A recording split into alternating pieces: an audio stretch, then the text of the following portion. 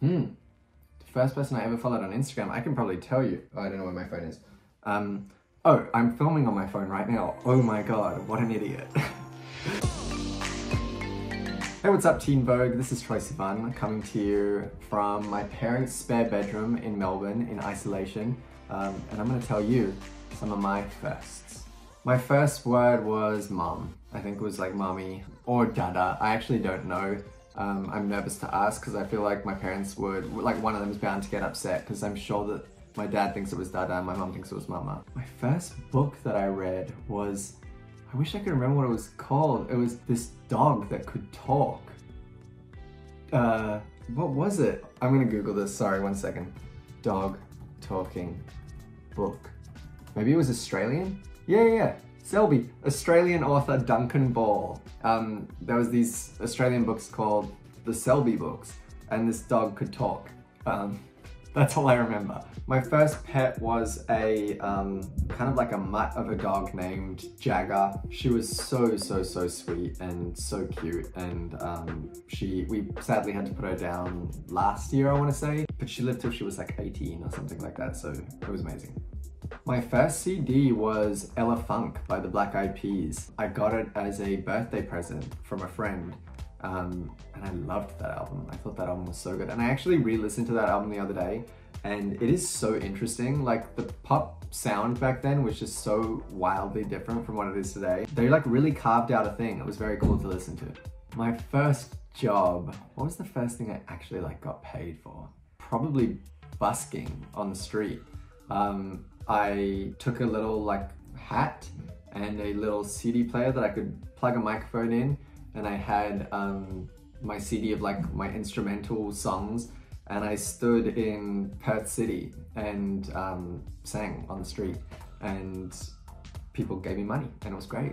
I actually hated it. I don't know why I said it was great. It was an awful experience all around, but um, yeah, it's so vulnerable and terrible. Like people are walking past you and you're just like pouring your heart out and um, yeah, it was not fun. So I did it like twice. You know, it's like the craziest thing ever. I feel very lucky to say this. I've never had a real job, like ever. Um, I want to say my first paid by somebody else job was probably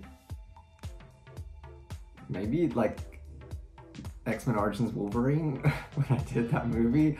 Yeah, I think that was probably my first time getting paid by somebody else. My first audition was for X-Men Origins Wolverine in, I think 2007 maybe? I didn't know how to audition, had no idea what I was doing, and I ended up booking the job, which was like such a dream come true. I love the X-Men movies, um, always have, used to like play X-Men with my little brother. We would like, you know, each have a different superpower or whatever and pretend um, to save buildings. That was like always the plot, was like a building was falling down and we needed to like fly and save it. So when I got to actually be in one of the X-Men movies, it was like the craziest experience for me. My first car, God, you're really putting me on the spot. This is also embarrassing. My first car is actually the car that I own currently, um, and it's very nice. So I feel too embarrassed to say what it is.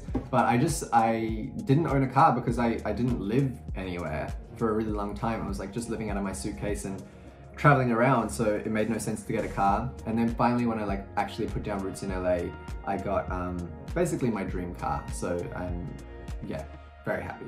My first best friend was crazy to say, but still my best friend to this day, Kayla.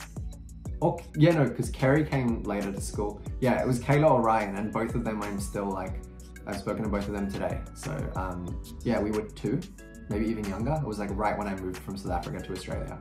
We met at like pre-preschool before we even started like official preschool, and um, we all met there. My first crush was oh, it's been like 10 years, so I can say it. His name was Jordan, and I didn't realize that I had a crush on him at the time. Um, I just was like, whoa, this is like the first boy that I've ever met that um, like doesn't really like sports and is obsessed with like photography and like all of these creative pursuits. Um, and that just really rocked my world because I had never met another boy like that before. He kind of broke my heart because he's straight, um, which I've never done that again since. Like I learned my lesson, no straight boys. Um, so yeah, I guess it was a good lesson to learn early on, but I was definitely a little bit heartbroken at the time. So I guess get a two for one. That was my first crush and my first heartbreak. Love you, Jords. My first celebrity crush. I used to think I had a crush on Miley Cyrus. looking back, I know that I just like really wanted to be friends with her. I used to Google her every day. Um, yeah, I don't know why I did that. I used to like go into the news tab and just like see what she was up to every single day. And then my first like boy crush was um, like High School Musical Zac Efron, and um, yeah, it was bad. I cried because I was like, oh no, I think I'm not straight. Why do I like Zac Efron as much as I do? I was just really scared. My first awful date was probably my first date um, because he went on Grindr while I was there in front of me. And I was like trying to be all romantic. Like I thought we were for sure gonna get like married basically. And um, yeah, no, it wasn't good. My first kiss was with my friend Daniela. We're still friends to this day. It was in my, like in the bathroom at my house in Perth. I think it was like a, like a seven minutes in heaven kind of situation. Like it wasn't, it wasn't organic at all. And it was cool. I enjoyed it. I think, it, yeah, it was fun. First time I was ever really embarrassed. Rough story. We were playing it at school, like tag. I ran into the bathroom, the boys' bathroom, and I was standing at the urinal peeing. And this boy who like always gave me so much shit at school came in and he was it. And he saw that I was peeing. He knew that I was peeing. He knew that I wasn't just hiding in there. But he came and he tagged me it and pushed me into the urinal. And I got covered in urinal soap and I had to go home from school. It was pretty disgusting and I was pretty embarrassed. My first major disappointment, hmm, that's a really good question. I think maybe my first major disappointment was maybe like not um, getting a job that I really wanted or something like that, like sending out an audition for a project that I was really, really excited about and not getting it. But at the same time, I think as like a as a young creative, you're so kind of used to that rejection um, that it was probably only disappointing the very first time, you know? Like, or you get disappointed, but it doesn't, um, it doesn't cut the same way anymore as it did, um, which I think is a really healthy, good thing. Like, I think if you get really upset every single time something doesn't work out, um, you're just not gonna kind of last because you have to, so cheesy to say, but there really is like a million no's before there's one yes kind of thing. So, um, yeah, I guess I learned that I, I I wanted to persevere because I was loving what I was doing. My first email handle was troythehotboy at hotmail.com. Um, you can still email it if you want. I don't know who owns it now, but it's not me. Um, yeah, I don't know why that was what it was, but that's what it was. It was for MSN. It was for like chatting to my friends. Hmm.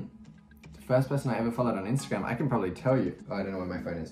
Um, oh, I'm filming on my phone right now. Oh my god, what an idiot. Um, so the first person that I followed on Instagram was probably probably my friend Kayla or something like that, like one of my Perth friends. The first vacation I ever went on was going back to South Africa with my family, I think, because we moved from South Africa to Australia when I was really young, and then we would go back and visit like my nana and my aunties and my cousins and all that stuff. The first vacation I ever took myself on as an adult was probably, oh, I went to New Zealand yeah, with an ex-boyfriend. I went to New Zealand and I think that that was like my first time paying for my own holiday. It was really nice. We went to Queenstown. It was great.